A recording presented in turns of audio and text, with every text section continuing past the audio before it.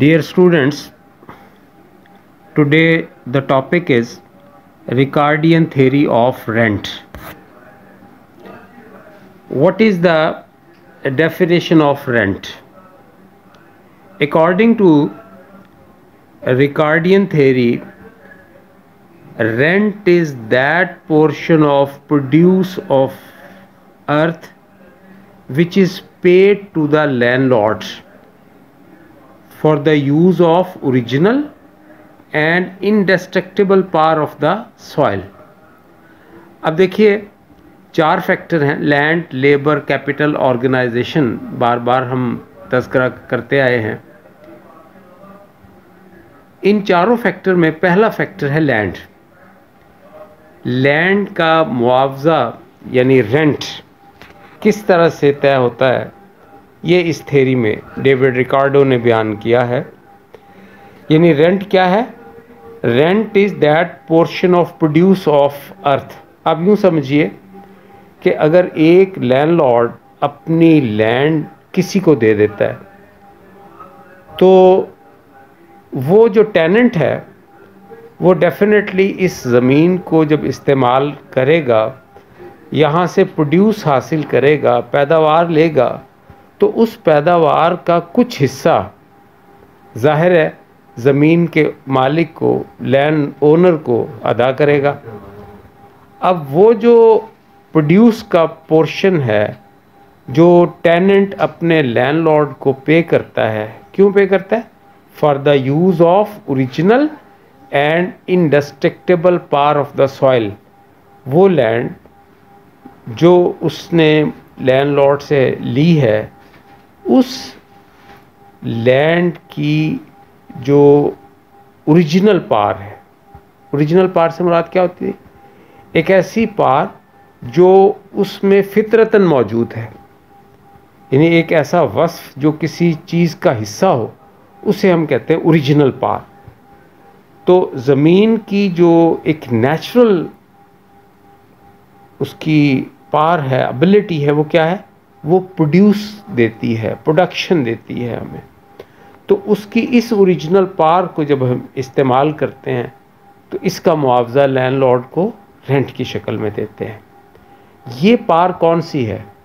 Indestructible पार जो ख़त्म नहीं हो रही, फना नहीं हो रही। साल हर साल से हम ज़मीन को इस्तेमाल करते चले आ रहे हैं। और बरसा बरस इस्तेमाल करने के बावजूद ये पार ज़मीन की पैदावार देने के लिए जो इसमें खासियत, सलाहियत मौजूद है फर्टिलिटी मौजूद है, वो इंटैक्ट है। अल्लाह का एक निज़ाम है, किस तरह से ये ज़मीन रीगेन कर लेती है फर्टिलिटी तो ये जो इस ज़मीन की इंडस्ट्रक्टेबल पार है ओरिजिनल पार है, जब हम इसको इस्तेमाल करते हैं तो इसके इस्तेमाल के बदले इसके मालिक को, इसके लैंड ओनर को हम क्या देते हैं? रेंट देते हैं। या यूँ कह लीजिए पैदावार का एक हिस्सा देते हैं, जिसे हम रेंट कहते हैं। अब आगे देखिए क्या लिखा है। It is the true surplus left after all the expenses of cultivation are met जब तमाम कल्टीवेशन के एक्सपेंसेस हम मीट कर लेते हैं तो जो बाकी बच जाता है, वो रेंट होता है। ज़मीन के मुख्तलिफ़ हिस्से, आप अगर गौर करें तो जरखेज़ी के अतबार से सिचुएशन के अतबार से मुख्तलिफ़ है।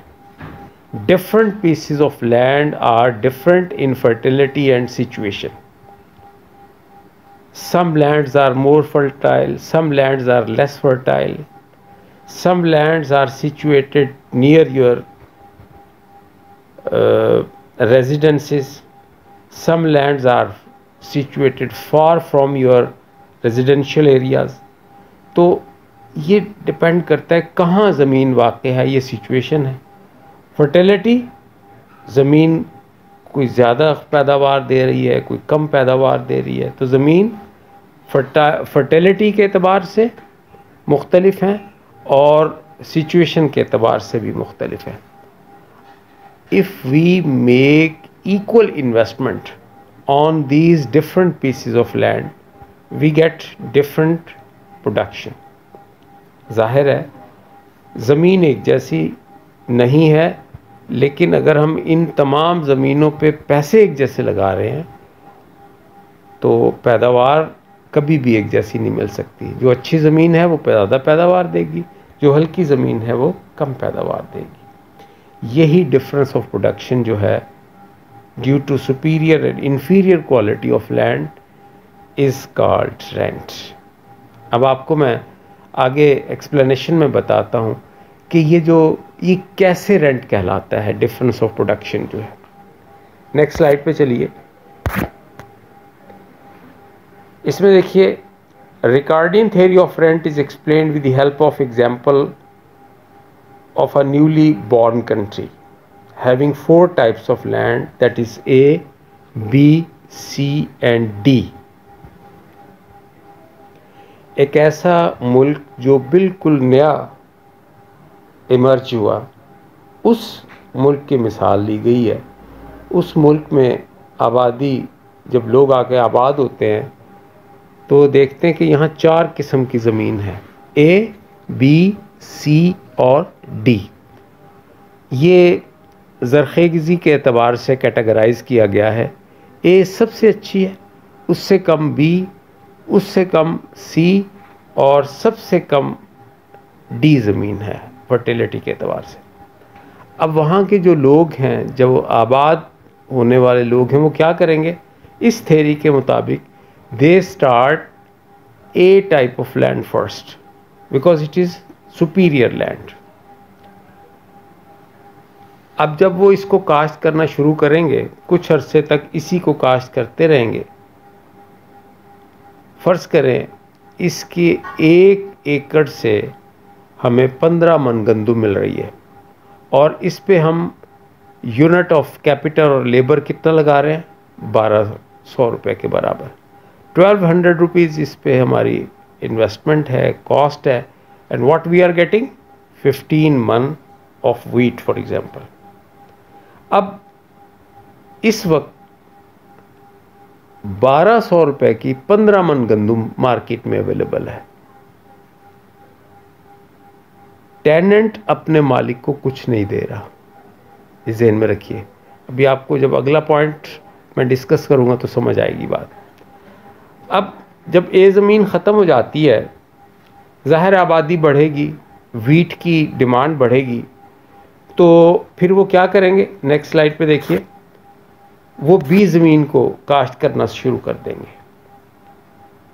अब बी ज़मीन चूँकि जरखेज़ी के अतबार से ए से कम है। तो उतने ही पैसे, यानी बारह सौ रुपये लगा के इससे हमें कितनी प्रोडक्शन मिल रही है? वी आर गेटिंग ट्वेल्व मन पर एकड़ अब क्या होगा? अब मार्केट में गंदम की कीमत ए ज़मीन के अतबार से नहीं होगी, बी ज़मीन के अतबार से। यानी बारह मन गंदम बारह सौ रुपये की। अब यहाँ ए ज़मीन का जो लैंड ओनर है, उसका टेनेंट भी तो बारह मन गंदम बेच के अपनी कॉस्ट पूरी कर लेगा। तो बाकी जो सरप्लस बचेगी तीन मन, वो अपने लैंड ओनर को दे देगा। ये ए ज़मीन का यहाँ रेंट होगा। बी ज़मीन रेंट नहीं दे रही। जब बी को हमने काश्त करना शुरू किया तो फिर चूँकि डिफरेंस है प्रोडक्शन का ए और बी का तो B superior sorry A superior है। अब कितनी सुपीरियर है? तीन मन गंदुम ज़्यादा है बी की नस्बत तो तीन मन गंदुम रेंट है। अब आगे चलिए थर्ड पॉइंट पे क्या है? Due to further increase in demand for wheat C type of land is cultivated यानी ए और बी दोनों ज़मीनें ख़त्म हो गई। गंदम की डिमांड और ज़्यादा हुई, आबादी बढ़ने की वजह से। अब सी ज़मीन को भी काश्त किया जाने लगा। तो इन्वेस्टमेंट अगेन पर एकड़ कितनी है? ट्वेल्व हंड्रेड लेकिन प्रोडक्शन यहाँ बी ज़मीन से भी कम होगी। क्यों? क्योंकि सी ज़मीन बी से भी इन्फीरियर है। अब बी से जब इन्फीरियर है, नौ मन गंदुम इससे हासिल हो रही है तो मार्केट में रेट आखिरी ज़मीन मार्जिनल लैंड के अतबार से होती है। इस वक्त मार्जिनल लैंड है सी तो नाइन मन गंदुम कितने की मिलेगी? ये ट्वेल्व हंड्रेड रुपीज़ की मार्केट में अवेलेबल होगी। अब ज़रा देखिए बी का सी के साथ डिफरेंस कितना हुआ? बी का सी के एतबार से डिफरेंस हुआ तीन मन। तो इसका मतलब है बी ज़मीन के लैंड ओनर को उसका टेनेंट तीन मन गंदुम दे देगा, ये उसका रेंट है। अब ए ज़मीन का डिफरेंस कितना है सी से? यहाँ सिक्स मन का डिफरेंस है। तो नाइन मन बेच के ए ज़मीन का जो टेनेंट है, वो अपने अखराज पूरे करेगा और बाकी छः मन गंदुम जो है, वो किसको दे देगा?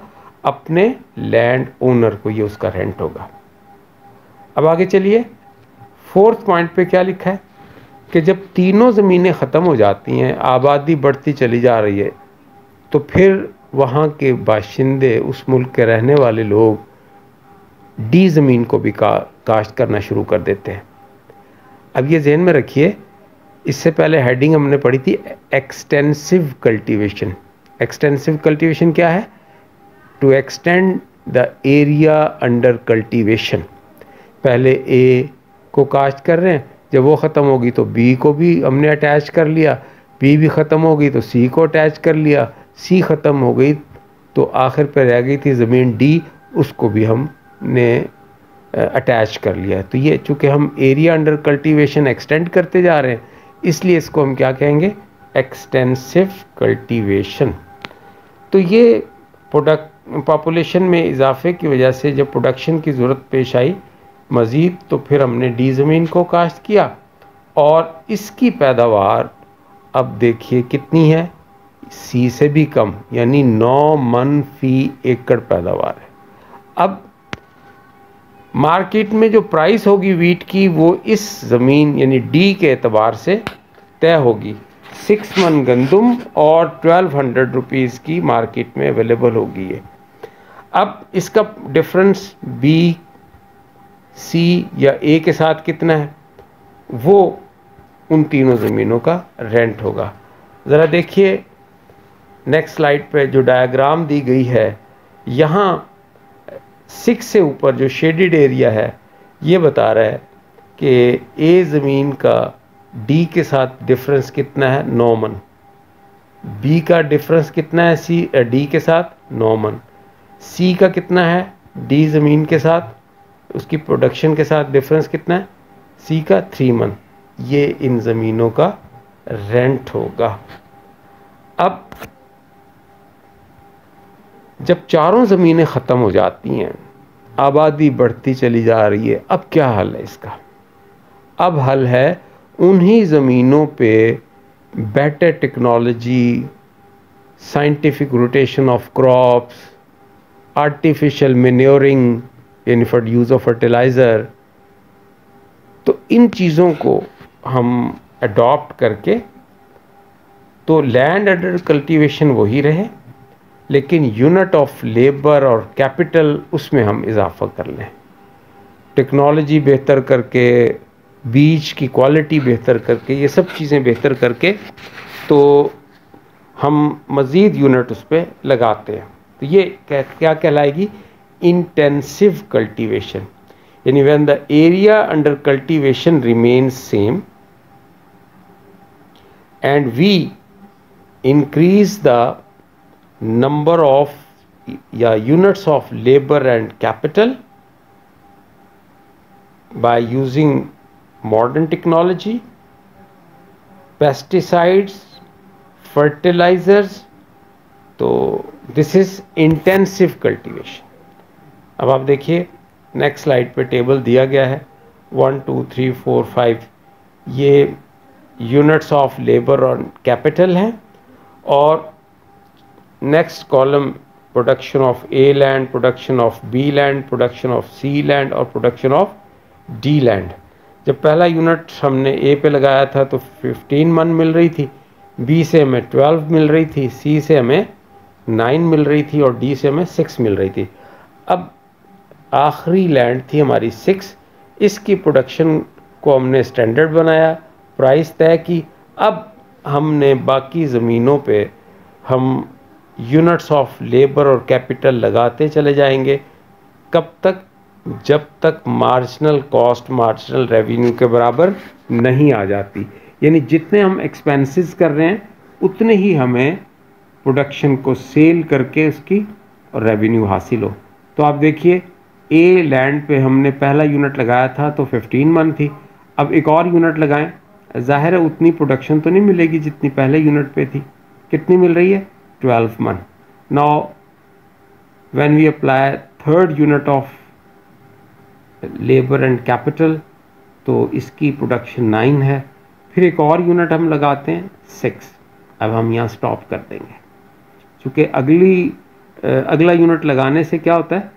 तीन मन हमें मिलती है। अब तीन मन को अगर हम बेचें, दो सौ रुपये मन के हिसाब से तो छः सौ रुपये मिलेंगे हमें। और हमारी कॉस्ट कितनी है? हमारी कॉस्ट है ट्वेल्व हंड्रेड तो ये तो फिर लॉस हो जाएगा। तो यहाँ फोर्थ यूनिट पे आके मार्जिनल कॉस्ट और मार्जिनल रेवेन्यू बराबर है, यहाँ स्टॉप कर देंगे। यानी ए लैंड पे how many units of labour and capital are used four अब आ जाएँ बी लैंड पे। बी लैंड पे पहले यूनिट से हमें 12 मन वीट मिल रही है, एक और यूनिट लगाएँ, नाइन मन, एक और यूनिट लगाएँ, सिक्स मन, बस यहाँ स्टॉप कर दें। क्योंकि नेक्स्ट पे जाएँगे तो थ्री है, फिर उस पे जाएँगे टू है, वो लॉस है, यहाँ स्टॉप कर देंगे। थ्री यूनिट्स ऑन बी फिर सी लैंड पे आ जाएँ। फ़र्स्ट यूनिट से हमें कितनी मिल रही है? नाइन एक और यूनिट लगाएँ सिक्स आगे हमने नहीं जाना चूँकि कॉस्ट ज़्यादा और रेवेन्यू कम मिलेगा। अगर हम सी ज़मीन में थर्ड फोर्थ और फिफ्थ यूनिट लगाएँगे तो। और आखिरी ज़मीन है डी इस डी ज़मीन पे सिर्फ़ एक ही हमने लगाया हुआ है। ये बाकी जो थ्री टू वन ज़ीरो है, ये हमने ऐसे ही इसको फिल किया है। हमने एक्चुअली इस पर एक यूनिट ही लगाना है। आप ये फॉलो कर लिया होगा आपने। अब ज़रा देखें नेक्स्ट स्लाइड पे। नेक्स्ट स्लाइड पे क्या लिखा है? Total rent of A land कितना है? ए ज़मीन पे हमने चार यूनिट लगाए ना। पहले यूनिट से फिफ्टीन फिर ट्वेल्व फिर नाइन फिर सिक्स इसको टोटल करें तो कितना बना? फोर्टी टू अब फोर्टी टू बना, लेकिन हमें चाहिए कितना है? चार यूनिट हैं। हर यूनिट पे सिक्स मन गंदम चाहिए हमें एक्सपेंसेस पूरे करने के लिए। तो ट्वेंटी फोर मन गंदम हो तो हमारे एक्सपेंसेस पूरे हो जाते हैं। Whereas we are getting forty two अब कितनी एक्स्ट्रा हमें मिल रही है? 18 मन। ये टेनेंट को एक्स्ट्रा मिल रही है, वो अपने लैंड ओनर को दे देगा, ये उसका रेंट है। अब आ जाए बी लैंड की तरफ़। बी लैंड में तीन यूनिट लगा रहे हैं। Twelve nine six. पहले यूनिट से ट्वेल्व मन, दूसरे से नाइन और तीसरे से सिक्स ये कितनी हो गई? ट्वेंटी सेवन मन। अब हमें तीन यूनिट से कितनी चाहिए? हर यूनिट पे एक्सपेंसेस मीट करने के लिए सिक्स मन। सिक्स इंटू थ्री ये बन गया एटीन तो twenty seven minus eighteen nine मन। तो ये नाइन मन जो है, वो टेनेंट किसको दे देगा? अपने बी लैंड के ओनर को। अब आ जाए सी सी लैंड पे नाइन प्लस सिक्स दो यूनिट लगा रहे हैं ना फिफ्टीन मन। और हमें चाहिए कितने एक्सपेंसेस मीट करने के लिए? सिक्स मन per unit six into two twelve मन। तो थ्री मन जो है वो सी लैंड का टेनेंट ओनर को दे देगा अपने। अब लास्ट लैंड है डी लैंड इस पर तो चूँकि एक ही यूनिट लगा रहे हैं हम, और सिक्स मन ही हमें मिल रही है। तो इसलिए six minus six zero no rent next slide पे देखिए। As D is the marginal land the price of wheat is fixed according to the production according to its production that is six maund per एकड़ rupees two hundred per maund will be the price of wheat the difference of production of A B and C land with D land is the rent of these lands अब आगे आ जाइए, इसकी examples दी हुई हैं। पहली assumption क्या है? The original and indestructible power of land इस थेरी में क्या एज्यूम किया गया कि जो लैंड है, ज़मीन है, इसकी पार ओरिजिनल है। यानी बाय नेचर इसमें फर्टिलिटी की क्वालिटी मौजूद है। ये इसकी ओरिजिनल पार कहलाती है। और इंडस्ट्रक्टेबल का मतलब है, जैसे मैं आपको पहले बता चुका कि ये जो फर्टिलिटी की क्वालिटी है, ये नाकबिल फ़ना है इंडस्ट्रक्टेबल है। साल साल से, क्या सदियों से हम इस लैंड को यूज़ कर रहे हैं और इसकी फर्टिलिटी जो है, वो इंटैक्ट है। दूसरा क्या है? ऑर्डर ऑफ़ कल्टीवेशन इस थेरी में एज्यूम किया गया है कि सबसे पहले हम अच्छी ज़मीन, यानी ए को काश्त करते हैं, फिर उसके बाद उससे कम जो ज़मीन अच्छी ज़मीन है बी है, उससे उस नेक्स्ट जो लैंड है, तीसरे नंबर की वो है सी और आखिरी नंबर की ज़मीन है डी तो हम उसकी जो कल्टीवेशन का ऑर्डर है, वो ये होता है कि सबसे अच्छी, फिर उससे कम, फिर उससे कम और सबसे कम फिर आखिर में। ये इसमें एज्यूम किया गया है। थर्ड एजम्पन क्या है? इसमें ज्यूम किया गया है rent arises due to superiority of land यानी डी ज़मीन जो लास्ट कल्टीवेटेड लैंड है मार्शनल लैंड है, इस लैंड से ए बी और सी की प्रोडक्शन जितनी भी ज़्यादा है, वो उनका रेंट है। तो इसका मतलब है ज़मीन की सुपीरियोरिटी जो है, वो रेंट का बायस है।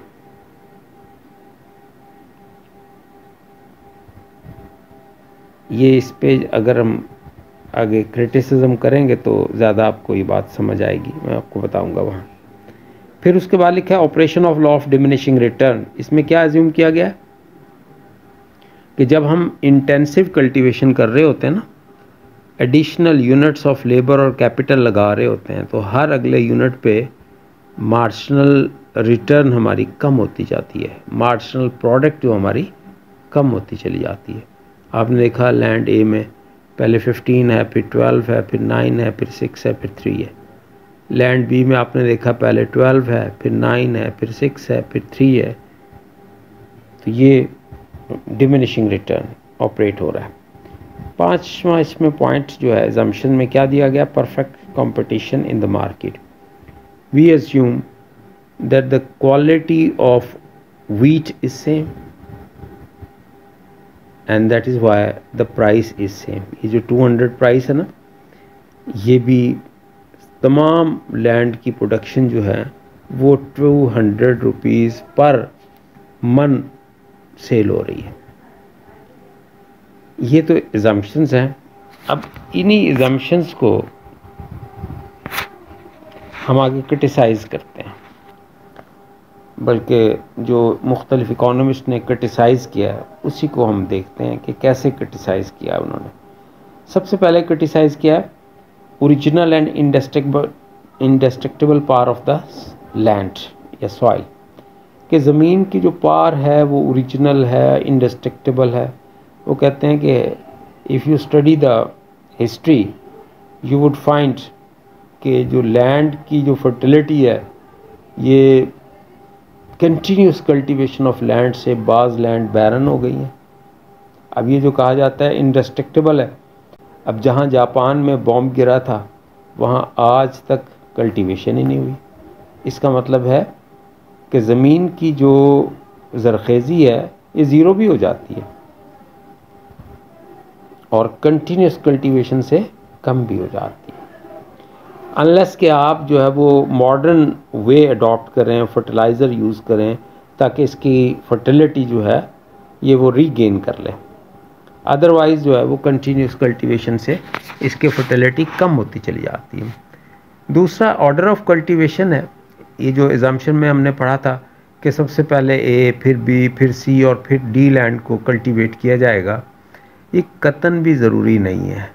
हिस्टोरिकली आप देखें जहाँ लोग आबाद होते हैं अपने करीब तरीन लैंड को कल्टीवेट करते हैं the land that is most accessible that is cultivated first अब ऐसे नहीं है कि ज़मीन जरखेज साहिवाल में है you are living in Gujranwala और Lahore and you go to Saiwal to cultivate that land. No, this will not happen. If you are living in Lahore, and if you are living in Gujranwala, you will cultivate the land near your houses. तो ये cultivation में इस तरह से अक्सर देखा गया कि लोग जहाँ आबादकारी होती है उसके करीब तीन एरियाज़ जो होते हैं उस उन ज़मीनों को कल्टीवेट करते हैं फिर थर्ड पॉइंट है rent arises due to superiority of land इस पे क्रिटिसाइज़ किया इकोनॉमिस्ट ने, कि ये जो कहा गया कि जी, जो सबसे अच्छी ज़मीन है, उसके ओनर को रेंट मिलेगा। और ये डिफरेंस जो लैंड्स का है फर्टिलिटी के अतबार से, इसकी वजह से रेंट राइज होता है। बिल्कुल भी ऐसा नहीं है। बाज़ इकोनॉमिस्ट कहते हैं, से एक ज़मीन ए है, आप किसी ऐसे बंदे को दे दें जो बहुत एक्सपर्ट ना हो तो वो उसकी पैदावार भी कम हो जाएगी एक ही। और एक ज़मीन सी है, आप किसी बहुत अच्छे फार्मर को दे दें जो जानता हो टेक्निक तो उस ही ज़मीन से भी बहुत अच्छी पैदावार हासिल कर लेगा। तो कल्टीवेशन की टेक्निक्स, मॉडर्न वेज कल्टीवेशन के एबिलिटी ऑफ़ फार्मर्स, फर्टिलाइज़र का इस्तेमाल, बहुत सारी चीज़ें हैं जिन पे प्रोडक्शन जो है वो डिपेंड करती है। तो ये अकेला ये कह देना कि ज़मीन की क्वालिटी बहुत अच्छी है। हाँ बल्कि यहाँ तक है कि जो क्रॉप आप उस पर कल्टिवेट करते हैं, वो फर्टिलिटीज़ पे भी डिपेंड करती है। फॉर एग्ज़ाम्पल आप एक लैंड है, वो पल्सिस के लिए मौजू नहीं है, वहाँ पल्स आप लगा दें। एक ज़मीन है, वो कॉटन के लिए सूटेबल नहीं है, वहाँ आप कॉटन ग्रो कर लें। एक ज़मीन जो राइस के लिए मौजूद नहीं है, वहाँ राइस आप लगा दें। जो धान की फ़सल लगा दें तो वो तो अच्छी आपको प्रोडक्शन नहीं देगी। तो जो ज़मीन की जरखेज़ी डिपेंड करती है, वहाँ कौन सी फ़सल जो है वो उग सकती है, उस इलाके के मौसम और आबो हवा के एतबार से आप वो काश करेंगे, बहुत अच्छी पैदावार मिलेगी आपको। नेक्स्ट है operation of law of diminishing return कोई ज़रूरी नहीं है कि law of diminishing return operate हो। बाज़ात डिमिनिशिंग रिटर्न ऑपरेट होता है। ट्रेडिशनली तो ऐसा ही है। लेकिन बाज़ात क्या है? अगर लेबर की क्वालिटी कहीं भी थोड़ी सी बेहतर हो गई तो लॉ ऑफ़ डिमिनिशिंग के बजाय इंक्रीजिंग रिटर्न ऑपरेट होना शुरू हो जाएगा। हम प्राइस भी उतनी ही पे कर रहे हैं, लेकिन लेबर कोई वर्कर को थोड़ी सी बेटर क्वालिटी का आ जाता है। वो अपनी स्किल उसमें यूज़ करता है। क्योंकि ये तो मुमकिन नहीं है कि लेबर 100 परसेंट यूनिफॉर्म क्वालिटी की हो। इसलिए जब वहाँ डिफरेंस आ सकता है लेबर की क्वालिटी में तो यहाँ भी प्रोडक्शन में डिफरेंस आ जाएगा और डिमिनिशिंग के बजाय इंक्रीजिंग भी हो सकती है। अब फिफ्थ पॉइंट है perfect competition in the market. ये देखें, कितनी अजीब सी बात है। कि आप कह रहे हैं कि चार ज़मीन है? A B C D quality के अतबार से डिफरेंट है। तो ऐसा मुमकिन है कि चारों ज़मीनों पे आप बीज एक जैसा आप लगाएँ और एक्सपेक्ट करें कि एक जैसी आपको क्वालिटी वीट की मिलेगी? बिल्कुल भी नहीं। ए ज़मीन जो सबसे अच्छी है, उसकी जो क्वालिटी है, वो बहुत अच्छी होगी। बी की उससे हल्की होगी सी की उससे हल्की होगी और डी की हो सकता है बहुत ही कम हो। तो ये परफेक्ट कंपटीशन नहीं होता मार्केट में एक्चुअली फिर लिखा है नो रेंट लैंड ये जो कॉन्सेप्ट है कि एक लास्ट लैंड जो है, वो नो रेंट है नो रेंट लैंड है, ये लैंड रेंट देती नहीं है, या इसका टेनेंट अपने ओनर को रेंट नहीं देगा, ये भी रैशनल अप्रोच नहीं है। कोई लैंड ऐसी नहीं है जो रेंट ना देती हो। ये तो मुमकिन है कि कम रेंट दे, लेकिन ये मुमकिन नहीं है कि रेंट जो है वो ज़मीन से लैंड ओनर को हासिल ना होता हो। तो ये भी अगर आप देखें ट्रेडिशनली कि क्या हो रहा है तो ऐसा नहीं होता कि कोई शख्स अपनी ज़मीन किसी को दे दे और कोई उससे रेंट भी ना ले। फिर उसके बाद लिखा rent as a part of cost जब हम कॉस्ट कैलकुलेट करते हैं ना इकोनॉमिक्स में तो कॉस्ट कैसे होती है? चारों फैक्टर्स के जो रिवॉर्ड्स हैं, उनको प्लस करते हैं तो कॉस्ट निकलती है। यानी रेंट वेजेस इंटरेस्ट और प्रॉफिट को ऐड करते हैं तो कॉस्ट निकलती है। यहाँ कॉस्ट जो 1200 है, उसमें रेंट को शामिल ही नहीं किया गया। तो ये भी इसमें एक मिस्टेक है।